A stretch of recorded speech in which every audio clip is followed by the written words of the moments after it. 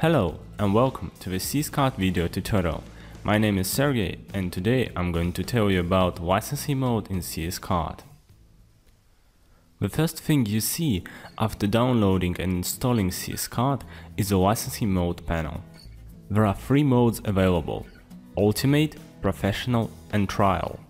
Ultimate mode provides an unrestricted access to all features, but requires a license number. Professional mode provides an access to basic features only.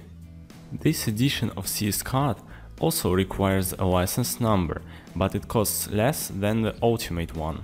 The trial mode does not require a license and provides a full access to all features during the 30-day trial period. After the trial period is over, you will have to purchase a license or enter a valid license number to be able to manage your store.